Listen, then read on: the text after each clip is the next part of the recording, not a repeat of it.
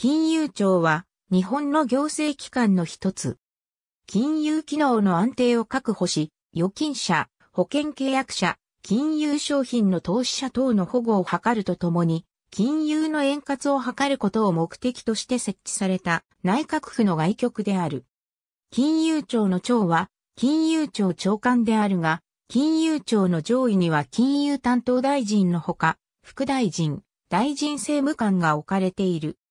金融行政上、利用者保護と市場の公正性の確保に配慮した金融のルールの整備と適切な運用を目的に法令に照らし合わせて利用者保護や市場の公正性確保に重大な問題が発生している場合に金融庁が厳正かつ適切な処分を行うこととされている。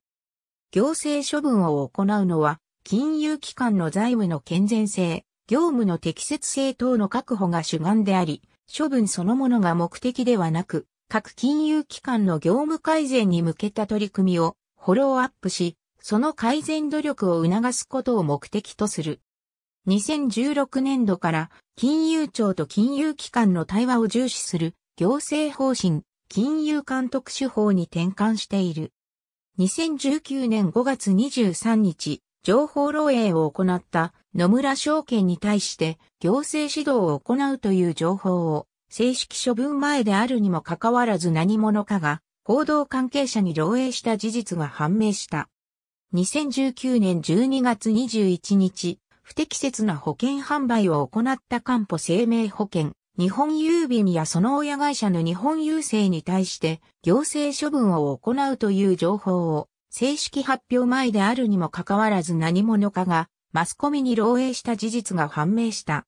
程度や規模、故意性、悪質性の有無により総合的に業務改善命令、業務停止命令、登録取り消しまでの処分が決定される。行政処分の種類、内容はおおむね以下の通りとなる。金融監督庁は当時の大蔵省から分離して新たな中央省庁の一つとなったが、地方の出先機関である各地の財務局、財務事務所までは分離されず大蔵省のもとに残ったため、法律上は金融庁に所属する地方支分部局は存在しない。財務局、財務事務所に委任されている金融業務を行うにあたっては、金融庁の指揮監督を受けることとされており、実務上は金融庁の地方実動部隊は確保されている。内閣府の該当の項を参照金融庁の幹部は以下の通りである。ありがとうございます。